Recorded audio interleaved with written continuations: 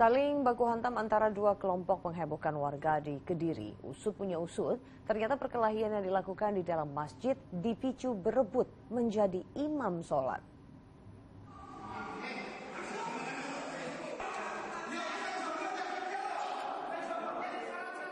adu mulut tidak terelakkan. Dua kelompok warga ini malah saling dorong saat hendak menjalankan ibadah sholat maghrib di Masjid Al-Mutakun, kota Kediri.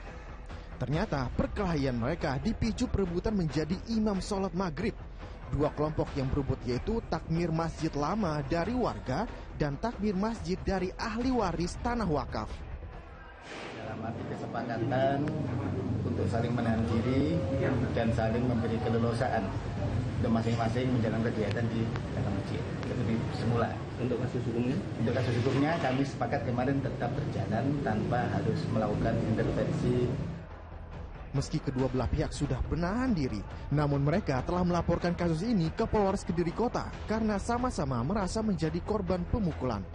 Danu Sukendro melaporkan dari Kediri, Jawa Timur.